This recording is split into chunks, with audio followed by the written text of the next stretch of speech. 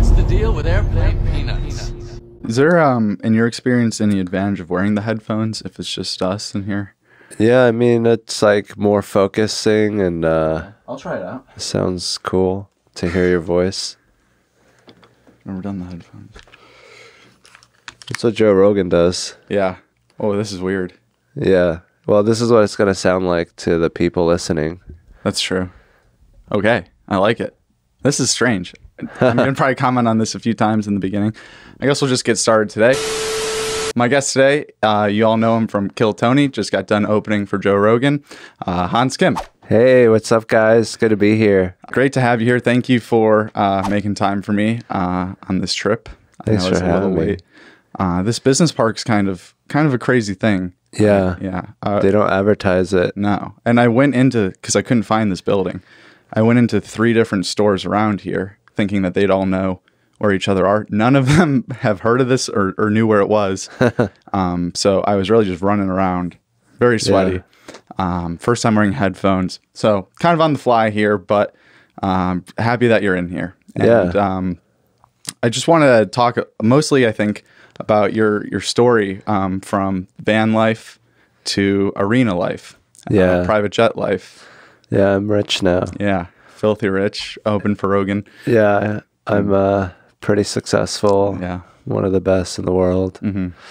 No, I uh, don't feel like it's real. I feel like it's all gonna get taken away at a moment's notice. But like, at least I could say I did it. You know, like I can Yeah. retire happy now. Like, what did you used to do? Oh, I did arenas and private jets. that's great. I don't think it's gonna get taken away, but that has to feel crazy that it happened so fast. Yeah, You know. Um, so from the first time you went on the Kill Tony show, yeah, What was that kind of like walking? You know, you sit in there, you don't know if you're going to go up or not. Yeah. But obviously, you've been doing stand up for a while and have your tight 60 seconds. Was it a debate which 60 seconds I'm going to do? Or did you know if he calls my name, these are my best three jokes or so?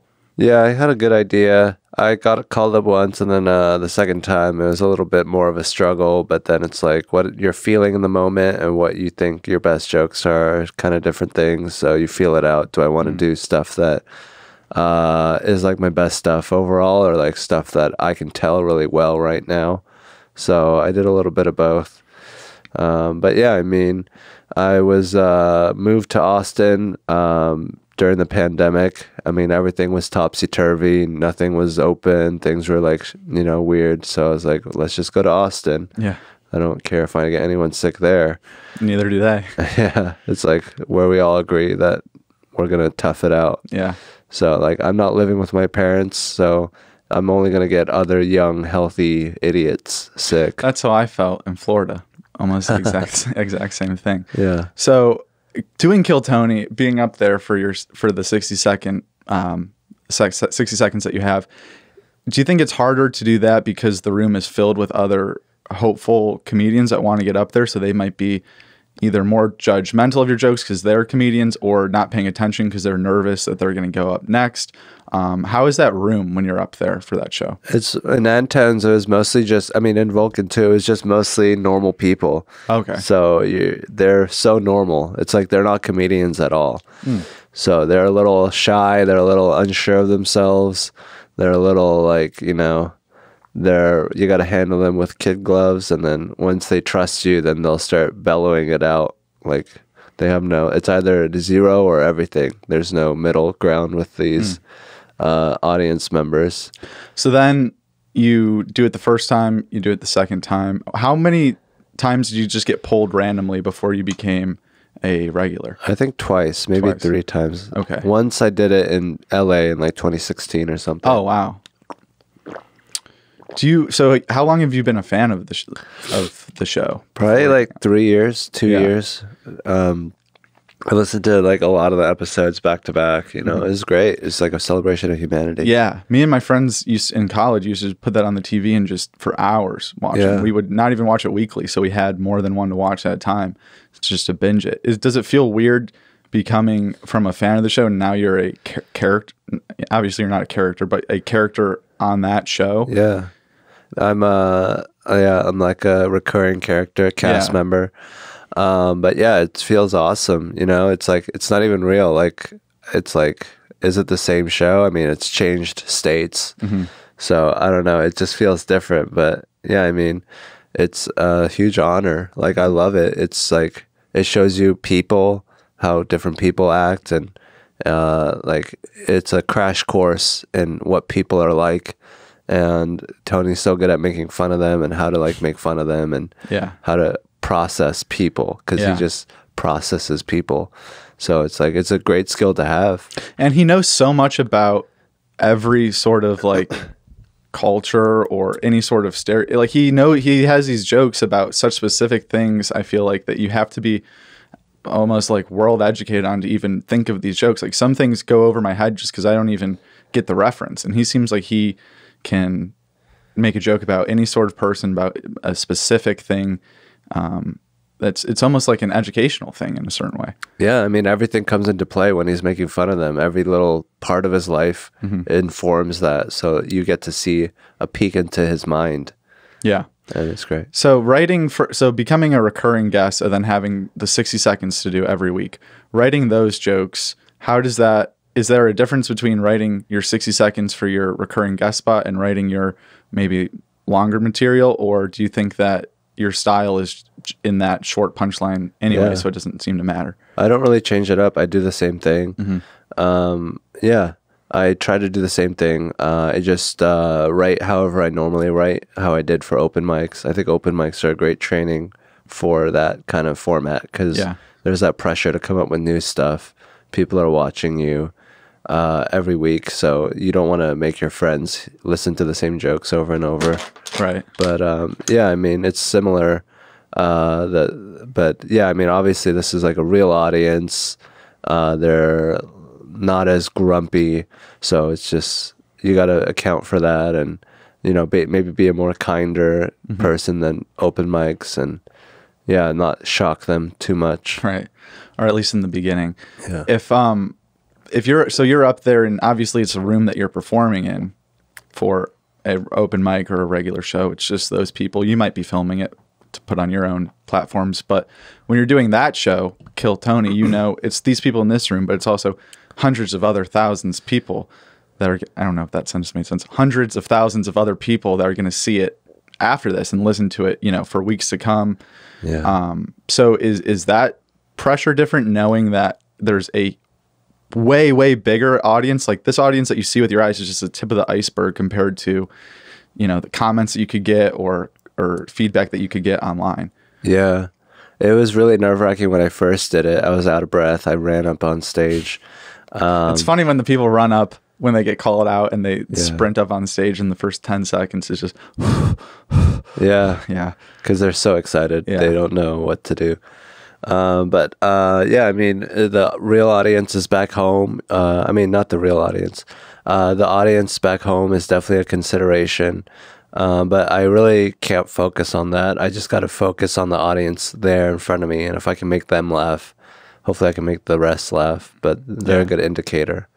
So, do you is how good of an indicator is Kill Tony in general, being a regular on that show, to try out new sixty second cli uh, bits of yours? You write them down, you get to try them there, and then do you use that as maybe a test run to see if that's going to work in your other shows outside of that, or do you test them in other shows to see if it'll work on Kill Tony? yeah i do it that way i don't Okay. because kill tony is Bigger forever platform, yeah, Yeah, and people are going to watch it in the future, so I want to make sure it's ready. that's your best. yeah, yeah. but sometimes it doesn't always happen, but maybe they'll enjoy the fuck ups. Yeah, They get a peek behind the curtain. That's something I've noticed from even going to shows. Um, last night I went to stand up on the spot at the fest during this festival, and some of the funniest moments were when a comedian's up there trying to make a joke and it maybe it doesn't go over that well, flops a little bit, and just there them like acknowledging that and just being like, "All right, I'm moving on, I guess." Like that, then that gets the biggest laugh almost. Like Yeah.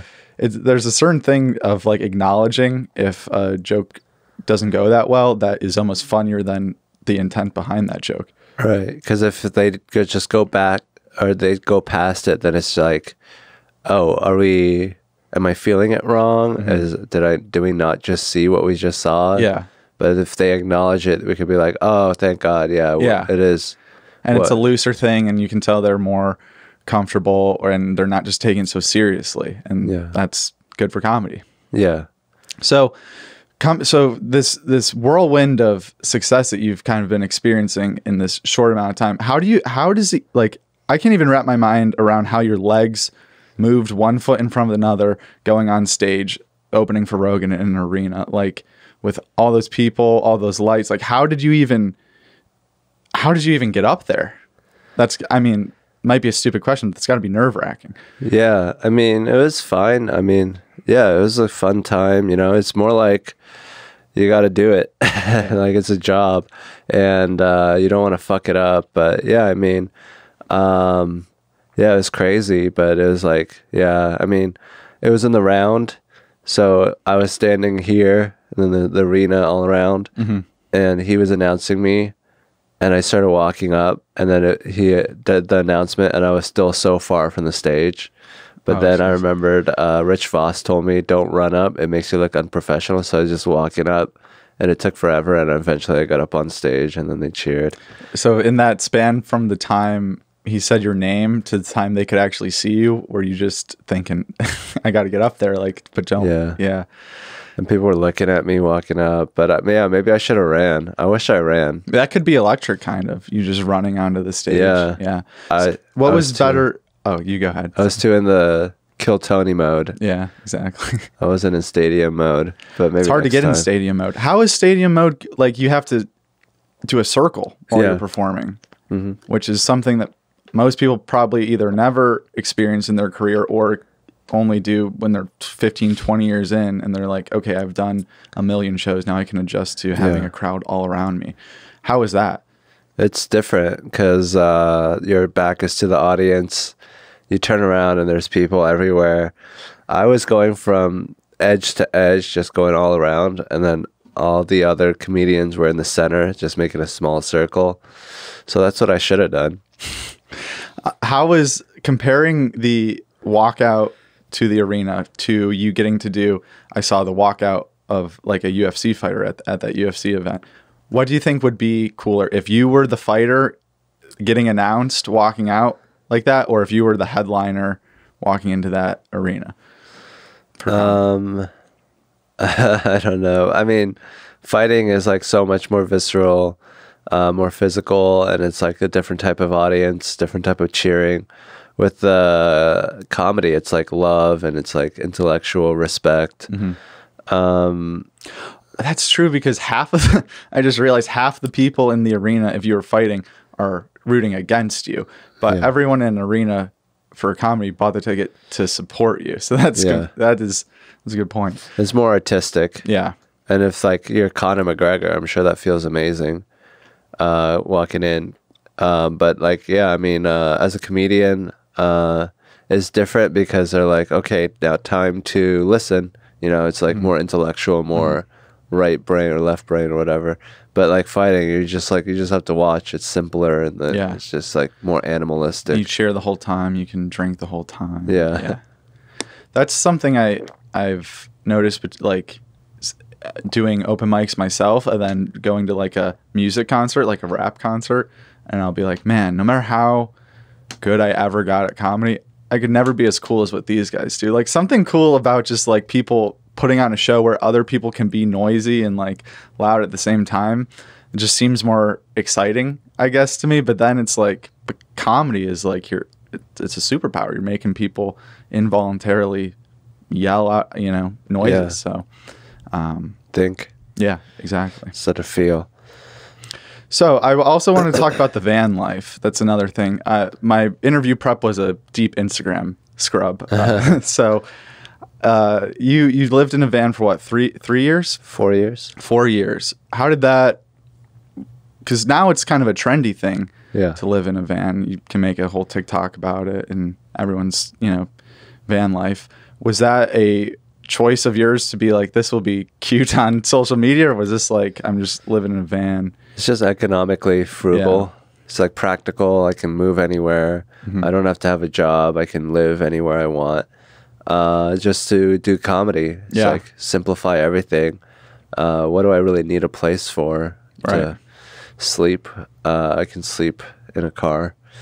Um, but yeah, I mean, uh, like I don't need to have a nice place to sleep. You know, like that's not that important. Um, but yeah, I mean, um, uh, I I think it's uh, it's it's sad that I had to do it, but I think that uh, that's the kind of world we live in. So it's like I'm gonna judge, like be like, oh, this is the game that we're playing. Okay, let me let me uh, yeah. put all my eggs in one basket. Like ideally, we'd be able to house everyone without making them work a crazy number of hours, because then they could pursue their passion. But Yeah, yeah. that's true. Is there parts you miss about it, or no? Yeah, I mean, I miss not having to commute, just waking up in downtown, wherever. Yeah, Um, I miss, uh, you know, going to mics and seeing friends. Um, but yeah, I mean, overall, I wouldn't do it again unless I had to. Would you recommend that to people who are like, I'm all in on comedy. This is all I want to do is stand up. Would you recommend that path of just like this eliminates all the other bullshit from your life? You can just focus on stand up. Yeah. I don't think it's helpful to have a job that you hate. I don't think that's good for you. I think you should do what you want to do. And, uh, you know, like torturing yourself and not sleeping is not good for you. Um, I think a lot of work is, uh, you know, like wasted. It's just them trying to extract money from you. It's not good for you. It's good for them. Yeah, that's true. But what about the van specifically? Do you recommend that people start uh, aspiring comics start going with the van? Yeah. if you're good at it. Yeah. You don't do it if, If you're you not have no good. shot. Yeah. yeah. But yeah, I mean, uh, most people can make it. There's just like five or six in a scene that definitely can't. But if anyone wants to put that work in, then they can make it. But that's the thing. It's like most people don't want to put that kind of work in or make that kind of sacrifice. Right. Yeah.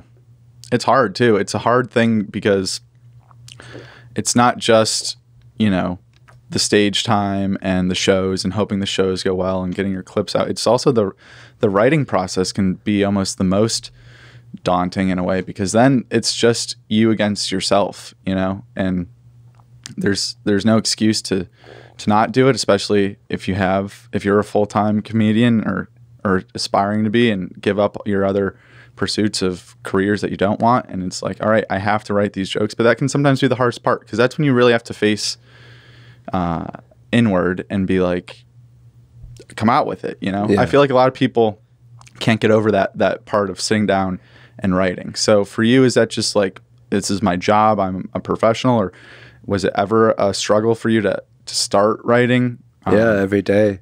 yeah, I haven't. Yeah, I should write more. But yeah, I mean, it's like uh, you have to do something, uh, and you know, like comedians are so lazy. Like I don't, I don't do anything today. I got to do something towards comedy. People are, you know, in offices and jobs they hate, doing a lot of work for that. I should be able to motivate myself to do work for something I love. Um, I think another thing is like people don't want to try and fail. It's better to not try and fail than to try and fail, but it's all it's better overall to try and succeed than to not try and fail. So I just feel like people don't want to be seen trying too hard because then if they fail, it's going to look ridiculous. So they uh, they they, they don't want to like sacrifice their life. yeah. They want their life to be as comfortable as possible. Yeah, and they can always hold on to the prospect of I could have done that if I wanted to, but I never Right. tried. Yeah, they can tell themselves. Right. Yeah. Kind of validate themselves that way. And I feel like there's a lot of obviously with social media now it's helped comedy so much and not even just comedy, all art forms um, with just creative people being able to show their creativity to mass people online. It's a great thing, but also I feel like a lot of people now are more um, sheltered with their art or uh, paranoid or self-conscious just from the people in their life that they you know they they are thinking oh these people are going to judge me for this or talk shit about this and it stops them from doing something that, that The they might YouTube love to do. comments. yeah exactly Yeah. so it's But that's like where you have to have a healthy disrespect of society. Like these people Mm-hmm. love Kim Kardashian. Why, why do I care what they think about me? Yeah, exactly. And it's like I, yeah, like these aren't even real people in your life. You know, Yeah. Most of these comments most of these negative comments, I feel like I, I don't even read the name. I just read what the comment says. So at that point, it literally is not even a real person. It's just Yeah. just the words. So let stuff like that affect you. It's it's kind of sad, but it's it's hard to it's hard to keep yourself in that perspective of why do I care about opinions of people I've never met Yeah, or don't I know mean, or don't it's respect helpful. even. Yeah. Hateful comments are helpful because maybe they'll make you motivated to try harder or show you things that you didn't know about yourself. Hmm. Like you should use the society around you to help yourself instead of like, you know, keeping it to yourself.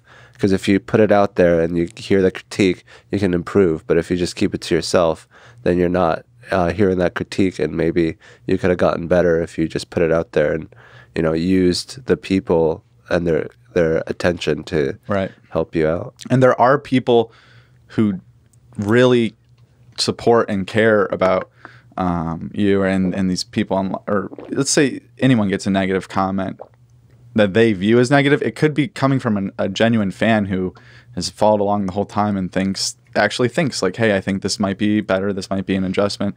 Um, so I guess to maybe block yourself off from all criticism and just be in an echo chamber isn't isn't healthy. Just like taking everything at the, at its word is is also not healthy. Yeah.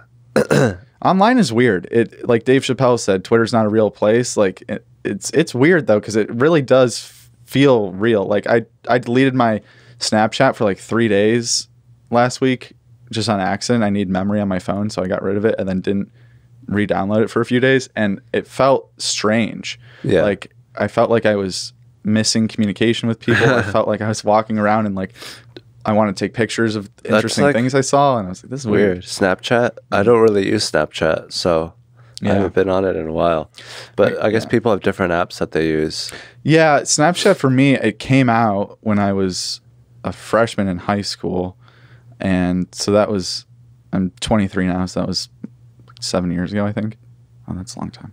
But it's just became a way to communicate with Yeah. almost like texting. Like there's really good friends I have that I would consider really good friends that I don't text them. I would just snap them.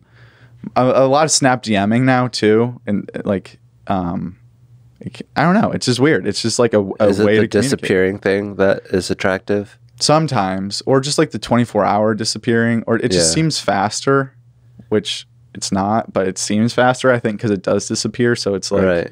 you know, that they're, You got to look at it, and it's Yeah. momentary. It's like not recorded forever. Yep. Oh, he saw this at this time. Yeah. It's just like, oh, I saw it. Like you, you can't You be like, oh, this guy always checks my messages right away. What a loser. yeah, yeah. And, or like if you get one back, and let's say like it's someone that you you just want to wait a few hours to respond to, or you don't want to respond right away, or maybe you're doing something, like you got to let it sit there and not open it because then they know exactly when you opened it. So then it's another. Personally, I don't like notification badges anywhere on my phone. It drives me crazy if I even have like a one next to my text. I like to just clear all of those off. So. I don't even know why we're talking about Snapchat, but um, Well, I think uh, we're talking about like the Twitter isn't a real place, Oh, yeah. and it's like I think uh, the internet is intellectual, and we're used to the physical world, but like thoughts and ideas change Mm-hmm. so rapidly. Like one minute everyone loved Will Smith, and the next minute they don't. Yeah. So if you're like on Twitter, you're like, oh, this is, you know, Will Smith is like this, and so like our minds are such malleable things, and then Twitter is just a representation of that. of how the it all kind of shifts, and it's kind of like cool watching everyone's brains shift Yeah. together in a way because Twitter seems to be somewhere where public opinion is king, or it seems to be like it's more of Like TMZ. yeah, or yeah, exactly, and it seems like everyone has the same take. I feel like on Twitter. Yeah, I mean, our minds are changing, and we're like, "Is this the right answer?" We're figuring it out. Like, oh, everyone thinks this way, so this must be the right answer. Mm-hmm. Yeah. But that's not necessarily always the case. I mean, it's some, it's most of the times correct. It's kind of cool to observe that as a third party, like pretending to just take yourself out of it, like if you weren't a human, and just take yourself out and just watch what humans do on these apps. It's super interesting. Just Yeah. to see how that how that all works. I mean, we have a culture, we have a shared consciousness, yeah, and uh, a lot of people don't want to admit that because they abuse it for their profit. But yeah, I mean, that's where our minds are at. Like, that's what it looks like, and a lot of people don't like that. They don't want to admit that. They they just want it to be the physical world or like oil or whatever. Um, but yeah, I mean, I think that our minds are, or Twitter might be a bad place just because, like, economically or socially, we're in a bad place. I don't think the concept of people talking to each other is inherently going to be a toxic thing. Right. So it is almost a direct reflection of where we're at with Right. everything. It's almost just like the country vibe check Yeah. or world, I guess. Yeah.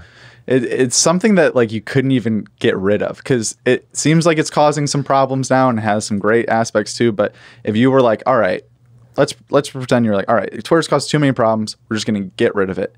It's too late now. Like it's almost necessary to have some sort of open forum, town square area where everyone gets to share their ideas. Yeah. Like it's there's no going back from having an outlet like this. Yeah, it'd be weird if we did that. It'd be authoritarian. It'd be weird like to Yeah. take it away. And Right. it's like no, Twitter's not even a big social media thing.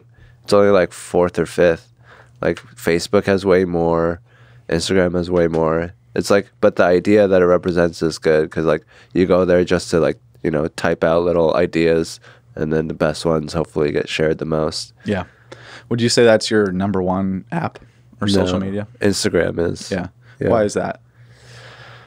Uh, it seems like that's where the most people are. Mm-hmm. Uh, Facebook is kind of dying off slowly. It's more for older people now, and it's like too toxic. I think Instagram is newer. Like Instagram doesn't have all that old sludge, Yeah. old habits. People approach it differently. I've never been. I, I made a Facebook account to find my freshman year college roommate, and then once I found him, because we had to join this Facebook group. Once I found him, I don't think I ever went back on. I don't really even know how to navigate the the scene Yeah. on Facebook. It's almost overproduced. There's too many options. You can get too connected, but Instagram is sort of like it's harder to connect with people. Like you can't create events or groups or stuff like that. Yeah. You can have like group chats of 30 people. Hmm. But yeah, I mean, you can have groups or pages or stuff. So So it's almost like that. just like the dumbed down version of Facebook. yeah, like simplified. Sounds good to me. I'd say that has to be my favorite app. Yeah, this, it's weird. Like the more features that are on it, the worse it is. Like Snapchat, like Yeah, every update, it seems like people are complaining and complain every single time they update, try to make it fancier. Everyone is just say, giving me, give me Yeah. the old one back. Yeah, like we don't want the most fancy shit. We want like sort of something that reflects our broken minds. Yeah. Do you Um, think that part of that is that we just don't like the change, like change of any kind? I think it's just like we don't want to know ourselves that well. We want it to be sort of unknown. Like who we are is sort of like I'm kind of like this, but I'm kind of like that. We don't want to come down definitively and be like I'm pro-abortion or something. Right.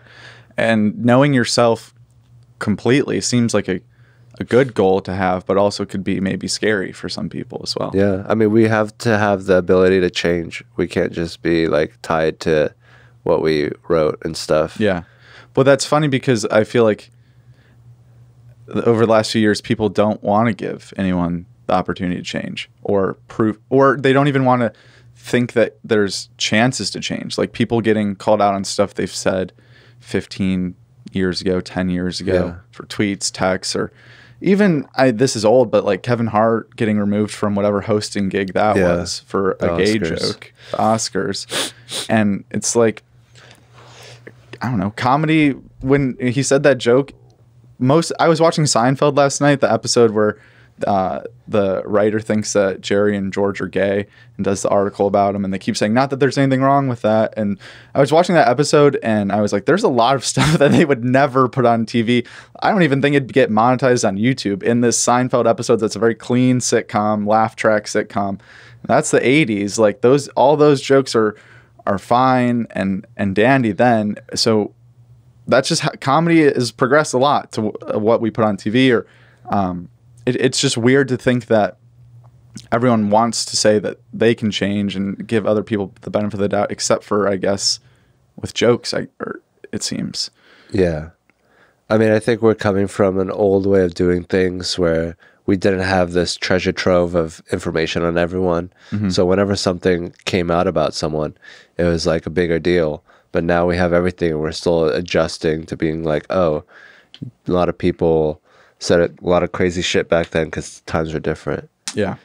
Uh, could I get a Kleenex? Um, I don't have a Kleenex. Okay. I I can think rip off a piece me. of paper. um, hopefully someone brings you a Kleenex. Here we go. Thank you. This is the Kleenex break of the podcast. We do this every episode. Sponsored by. Kleenex. Isn't that funny? Uh, Kleenex, that's a brand there who Yeah. took over the name of tissues. Yeah, they made unbelievable tissues. And now you don't even, no one says the word tissues. It's just Kleenex for every brand. Although I could not probably name more than one tissue brand anyway, besides Cottonelle. Kleenex. Continental? Cottonelle. I think that's more toilet paper. Oh. Yeah. But they call that toilet tissue, bath tissue. what, there's, what is it? it? No one writes toilet paper on the, on the. It says like bath tissue or Oh, something. yeah. So I guess it's all tissue. That was my tissue riff while Hans blew his nose. Um, let's see what I wrote down to talk about. Oh, the before thoughts. Oh, here we go. How did the kissing thing start? Um. Well, they realized that I'll just tell them anything they want to hear, and then they started asking me about my love life, and then I was like, "Well, you know, like I'm trying to, you know, fuck comedians," and they're like, "Cause that's who I'm Yeah. around all the time," and then they're like, "Let's bring one out," and then they were like, "Is she here?" And then they're like, "Yeah, she's here," and then like she was sort of like oh gross. He's he's the worst. I hate him. And then they're like does anyone want to kiss him to like kind of balance out the, Yeah. the fact that she was clearly not attracted to me? And then uh, that girl kissed me and then like every week Tony was like is it okay if i do that every week? Uh, some people are weird about their moms watching or whatever and i was like yeah i mean I uh, don't live my life in a way that my mom like. uh, She's not like the uh, one one person that I'm trying to impress. You know, I kind of need to live my life. So, uh, but yeah, I mean, he started doing it every week, and uh, it was fun. And then people stopped wanting to kiss me for whatever reason. Maybe because they saw the 30 other ones beforehand. Yeah. Has your mom said anything about it or No. about the career in, in general? No, I haven't really talked to her about it. But uh, yeah, I mean, um, I'm sure she she knows in general. That was that was one of the best long running bits I think they've ever done. Um, so yeah, that that and um, do is there is there any sort of like do you, do you watch people go up to kill when you're there and and do you know oh this is going to be good or this is going to be bad right away just based on being around the game for so long? Um, no, I try to be open minded, but usually you can tell uh, after the first joke how quickly they get to it. But sometimes people have long jokes that are good. But yeah, I mean, it's uh, yeah, I mean, it's tricky. It's uh, it's hard to do. You know, sometimes I'll think they sucked, but everyone else think they did well. So it really depends. But do you root for I you seem like you root for everyone to do well, but I'll ask him, do you root for the uh the person that kills or the person that has the funniest exit interview because they didn't do so well? I would rather have them do a funny interview Yeah. because then I don't feel comedically insecure. That's true. Yeah. but that's really not the best for the show. So I try to temper. Like it doesn't really matter what I want. Mm-hmm. I what I want is like fucked up and stupid.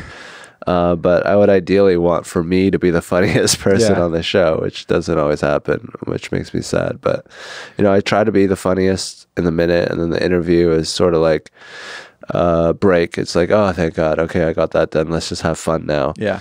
Was was that how it was the very first time going up? Like, oh, the interview's going to be the break part, or because for me, I would think the most terrifying part of going up would be, all right, I know if this sixty seconds is going to be good or not. I've said it five hundred times in five hundred. I know if this is going to be good or not, but I don't want to get roasted on Kill Tony by all these comedians that I admire, and I think that would be my most nerve wracking part. Would be the the interview after.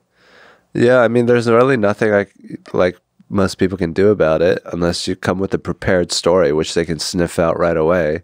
That's the be- that's the best when they try to like lie or be funny in the interview, and th- uh, it just gets shut down so fast. Like, Yeah. Let us tell the jokes. I That's my love it. Yeah, because I hate it when people do that in normal conversation. Yeah. When they just try to take over and grab as much attention as possible. It should Mm-hmm. be like half, half, or like 20, 20, 20, 20. Mm-hmm.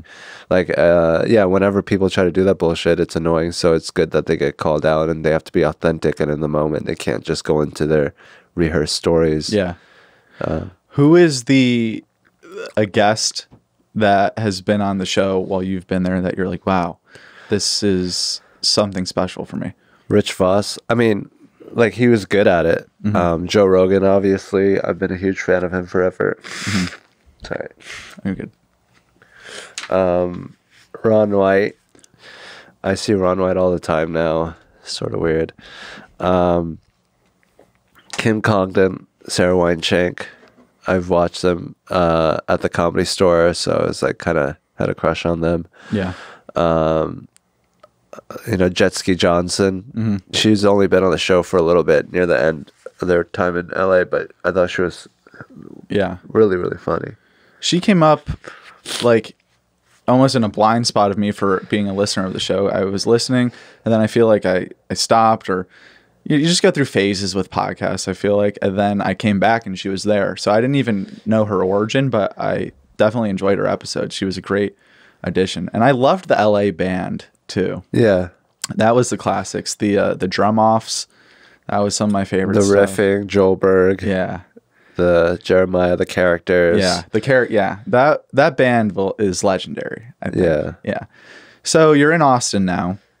How do you like in Texas compared to the van in New York or just anywhere else you've lived? I love it. It's free. It's independent of all the bullshit. It's just a community that we created. Uh, and we don't have to kowtow to any existing power structure. It's completely independent. So I love it. As far as the comedy scene in Austin goes, obviously there's a festival going on this week, so it's all over the place. What is it like normally? Is it like I feel like people talk about New York, LA, and now, especially since the Rogan move, Austin as being that third comedy city. Maybe it used to be Chicago. Maybe there never was a true third. I feel like Austin is maybe not third place, but in that top three now. What is it like just a normal week um, comedy scene here? It's amazing. I mean, Joe Rogan flies out, Mark Normand, Ari Shaffir, Shane Gillis. They come here a lot. Tom Segura lives here. Tim Dillon has a house here. Uh, some of the best comedians in the world are on that Joe Rogan show. Um, you know, and uh, it's become really, really a good place for comedy. And with the Rogan Club opening up, it'll only get better. So this is like a place where you don't have to um, you don't have to uh, you know have like a long track record of uh, slumming it in the clubs. This, everyone's new here, except for like the old scene, which is they're great too. Uh, but yeah, this is like a new thing. It's not like you know, it's not like L.A. or New York where people who kiss ass the best get ahead. This is just pure meritocracy. and it's detached i feel like from a lot of that new york and la stuff of trying to get shows or trying to i don't know just like those two cities the two biggest cities in the country I, I just feel like there's just a different feeling or different culture in those cities even outside of the comedy scene just living there compared to being in a new place like this and setting up a new comedy scene where there's not as many maybe executives or Hollywood or people trying to tell you to be clean or change your act or stuff like that. Yeah. It's pretty cool. Yeah, that's the best part of it. Um, yeah, I mean, everyone here is happy to be here. They escaped from wherever they were, and everyone wants to party and have fun. And people here are really nice to each other. Um, we party all the time. We like hanging out with each other. There's less jealousy. Um, it's a beautiful scene. That's awesome. What would you say your favorite room is around around Austin on a weeknight? Um, probably the Vulcan, just because I'm so familiar with it. The Creek has a good stage. I like that setup. Um, yeah, I mean, the that's pretty much it. A Spider House ballroom, I think, is wonderful because of the audience that they get is a little different from Creek or Vulcan. They're more the old Austin. Okay. Is there a you mentioned the old guys and old Austin scene. is there so obviously there's comedy in every city to the people that were already here doing stand up trying to get this scene off the ground when this flood came in of refugee comics what what was their kind of reaction like um, the old scene was sort they just sort of huddled uh, away and sheltered themselves from the storm and sort of uh, you know kept away. You know some people bled through but mostly they just kept to themselves and you know they have their own opinions. They're, they're more liberal and the new people are more conservative. But you know i think uh, i think there was a lot of uh, possibilities for uh, you know cross pollination so i think i think they're slowly uh, opening up and the new scenes slowly um, ingratiating themselves with the old scene that's good to see yeah Have you have you noticed a lot of new brand new people showing up that move here to Austin thinking if I'm here, this is where I'm going to become a comedian and my problem wasn't that I'm not writing or that I'm not getting on stage. My problem was I don't live in Austin. So if I move here, that'll be solved. Have you seen a lot of people that maybe um, aren't doing the work but just want to be in Austin and be around comedy and be in the scene um, around here? Like I feel like I guess what I'm trying to say is I feel like the word Austin and comedy and all this it feels a little saturated maybe to the outsiders who love comedy and don't live in Austin. It feels like everyone's like blowing a lot of smoke up Austin's ass in a way. Does do you feel that is like because you're around these big names too? Um, I'm talking more like open mic level that kind are there a lot of like hangers on and like weirdos Yeah. Or just the people that are just flooding in here just to be around the Austin comedy scene and just kind of filling it up. Um, I guess it hasn't reached a critical mass. It's a good number now. Um, I mean, it's not really too many weird people. I think it's a it's a tough city to uh, come if you want to just uh, you know clout chase because it's not that big. So I think that and uh, that helps people not be kind of weird about it. So um, yeah, I mean, I haven't noticed it too much, but I'm sure it'll happen more and more uh, once Rogan's Club opens up. Um, but yeah, I mean, uh, a lot of people are like looking at Austin as like this new alternative. Like if they don't want to go to LA or New York, Because there's still obviously great things happening in both those places. So it is, I guess, more of an alternative in, in that way. Because I feel like a lot of, I mean, if you listen to if you listen to JRE, if you if you just kind of a casual fan, but more in the group that you are in and, and these guys, it, it sounds like LA is dead and New York is dead, but there are still great things happening there in comedy. yeah, I mean, uh, we moved here, so we're gonna talk shit, but. Yeah. Um, it's uh, you can't deny like the history of those cities. Uh, they're great cities. Uh, it's just like the cost is uh, increasing and the benefits are decreasing, and we don't need that old infrastructure. Comedy is just one person talking. We can do it anywhere. We don't have to, they they they're using it to control. Like they're using the name of LA or New York to get more out of people than they deserve. And here, like, there's none of that. This is just pure. This is 100% efficiency. Yeah. So you mentioned that you all you need for com you can do it anywhere. All you need is someone talking. Um, you're running a, an open mic in a park for a little bit. Yeah. Um, how how was that experience doing comedy in a park? It was awesome. It was guerrilla. It was like, you know, hodgepodge. It was crazy.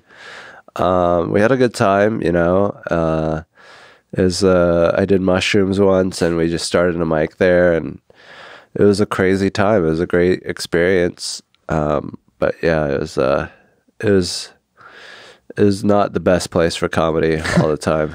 Was it hard to get people to like focus or like uh, sit down and and and watch with you know being in a public place with other things going on? Like what time of day was this at? like six. Six. Okay, so sun's kind of setting, but there's still other stranger or pedestrians, you know, Yeah. walking around.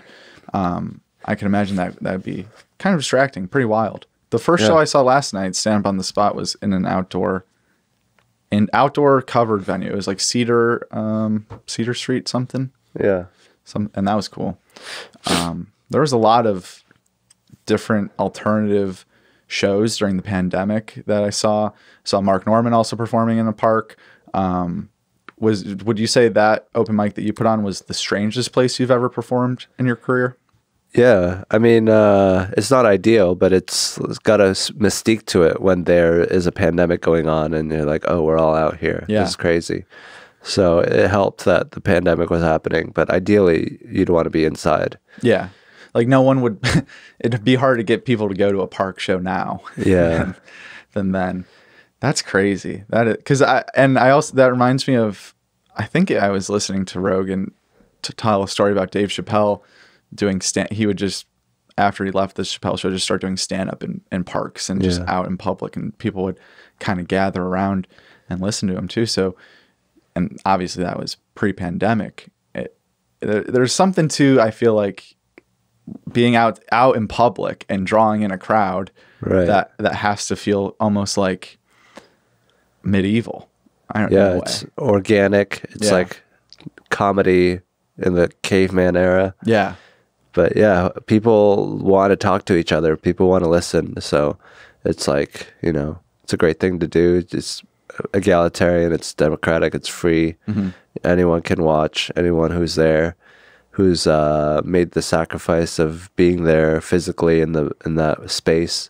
That's all you need to do. And uh, I think it's a beautiful thing. Uh, and I'm sad that uh, it's gone now, but you know, uh, we, we can always do it again. It's just like it's not ideal. yeah, The exactly. low ceilings help. Yeah.